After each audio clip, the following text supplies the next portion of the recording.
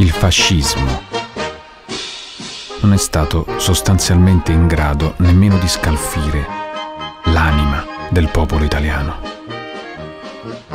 Il nuovo fascismo, attraverso i nuovi mezzi di comunicazione e di informazione, non solo l'ha scalfita, ma l'ha lacerata, violata, bruttata per sempre. L'Italia è il paese che amo.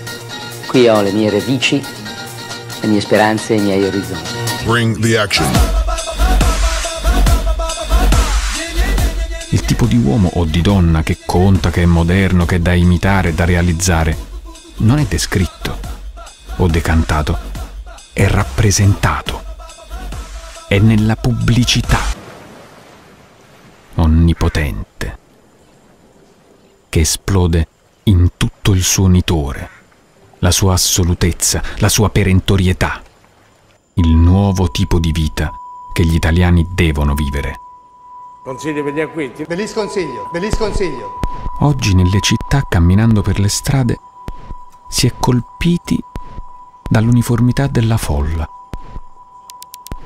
Gli uomini sono conformisti e tutti uguali uno all'altro secondo un codice interclassista perché questo è l'ordine che egli ha inconsciamente ricevuto e a cui deve obbedire, a patto di sentirsi diverso. Mai la diversità è stata una colpa così spaventosa come in questo periodo di tolleranza. A cosa è dovuta tale omologazione? Evidentemente a un nuovo potere. Esso cambia la natura della gente, entra nel più profondo delle coscienze.